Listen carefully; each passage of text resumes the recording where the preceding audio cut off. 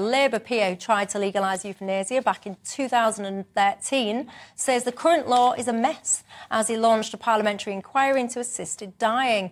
Uh, the Health and Social Care Committee is hearing evidence on the issue. Uh, and I need to be clear assisted dying does remain illegal here. Toby Young, do you think it's high time now uh, that life moved on and that actually assisted dying is made legal? No, here? I don't. I don't. Um, one of my concerns is that if you make assisted dying legal, um, you make older people very vulnerable to being browbeaten by their greedy children who want to shuffle them off their mortal coils so they can inherit their estates. I don't think that's a huge risk, but I think it's a risk, and I think it's something we have to be mindful of. In addition, I'm worried about people who aren't suffering from terminal diseases, whose quality of life hasn't declined to the point where they want to end their lives. Younger people who might think, oh, well, we live in such bleak, pessimistic times. The planet is about to catch fire.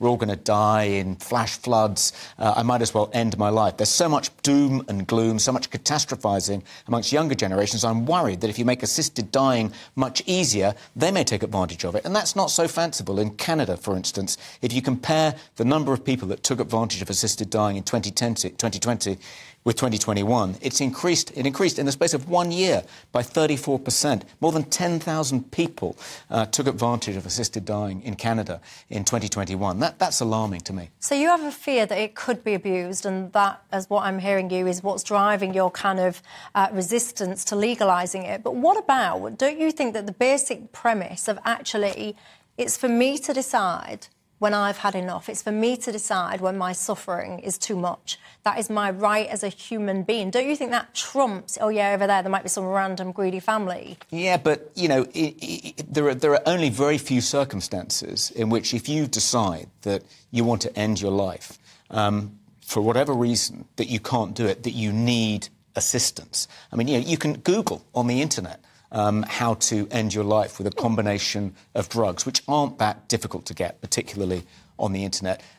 In some cases, I mean, we have kind of um, unofficial assisted dying takes place in hospitals all the time. Doctors decide, in consultation with patients, to increase their morphine dose if they're suffering from terminal cancer, knowing that that's likely to accelerate their end. They use various drugs uh, in care homes. To, I mean, it happens. I don't think we need to formally legalise it, because my worry then is that it would happen on a much bigger scale and it would be subject to abuse. Michael?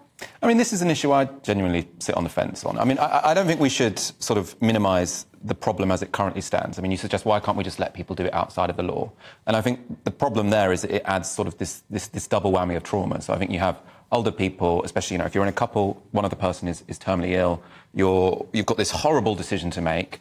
They're suffering, they want to die. Do I help them die? And then if you make that decision, which I think is an honourable one to make, then you go through the courts. And yes, judges often let people off, but I mean, it, it seems to me that you're compounding trauma on top of trauma.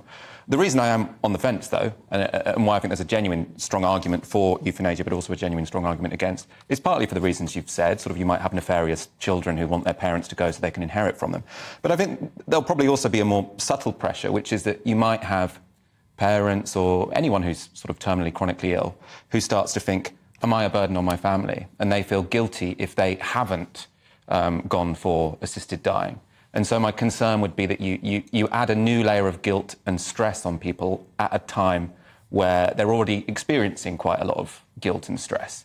So, I mean, I wonder if there's some sort of technocratic way where sort of we can plan this law so well that we get the good bits but not the bad bits. But yeah, I genuinely think this is a difficult one.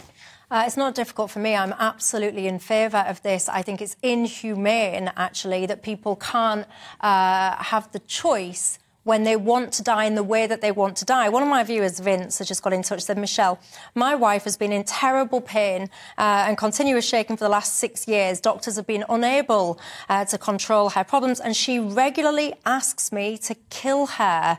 She desperately needs to be free of this life, but society insists that she must suffer to the end. I've got to say, Vince, that has just given me goosebumps, and you sum up you sum up, for me anyway, uh, why this should be legalised to allow people to make their own choice for them and for their loved ones.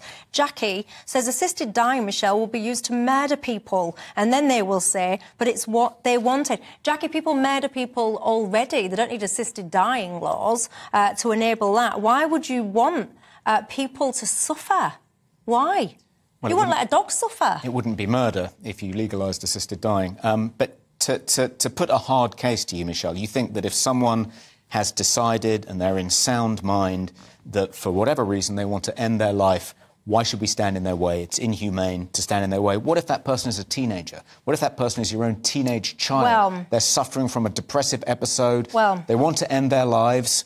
You think they should be able to? Well, I can speak with um, real world experience, and I apologise to my mum because she will be watching this, but my mum will be aware, and I've spoken about this. I lived for years, decades, wanting to die absolutely adamant that I didn't want to be here, and it was absolutely horrendous. And if you'd have asked me anything, I would have insisted I was of sound mind. It was an obsession. It dominated every minute of every day of my life. It was awful. And the reason I didn't end my life was because I didn't was, want to cause upset to my mum. But I sat down with my mum and explained to my mum and to my family that I didn't want to be here anymore. I was absolutely resolute in my thinking. And perhaps if this opportunity was available to me, perhaps I might have done so. Uh, we fast forward, and now I realise I was ill. I had what has been um, uh, diagnosed as suicide ideation, and I understand now that a well mind a well mind doesn't want to die and a well mind doesn't obsess with suicide.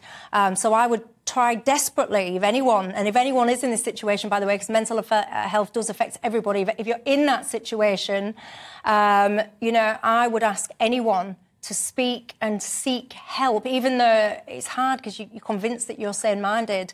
But now I realise I wasn't.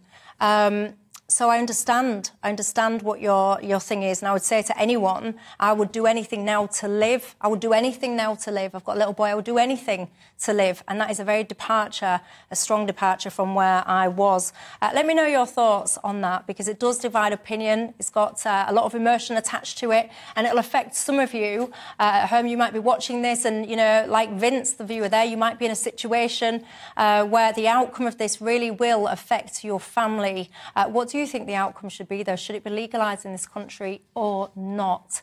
Uh, I'm going to take a quick break. If you're affected, by the way, the issues that I've just been describing, do seek help. There's so many people out there uh, that can help us.